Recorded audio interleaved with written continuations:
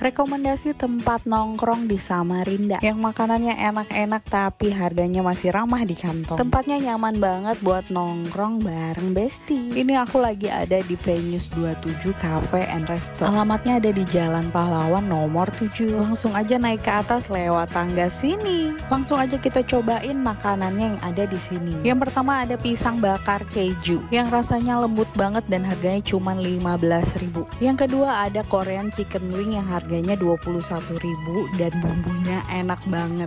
Mungkin lain kali aku ke sini bakal pesen ini aja tambah nasi kali ya. Terus-terus di sini juga ada garlic bread. Kelihatannya simple tapi ternyata enak banget buat cemilan dan harganya juga cuma 15.000 aja.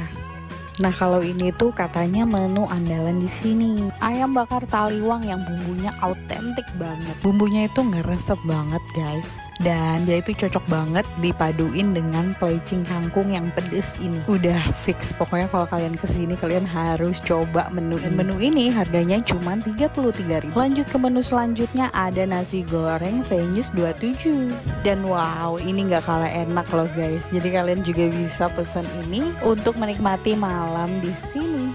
Selain makannya yang enak-enak di sini juga ada live musicnya. Jadi asik banget. Jadi buat kalian yang mau ngumpul-ngumpul sama saudara saudara atau mau arisan bareng teman-teman bisa langsung aja ke Venus 27 Cafe and Resto.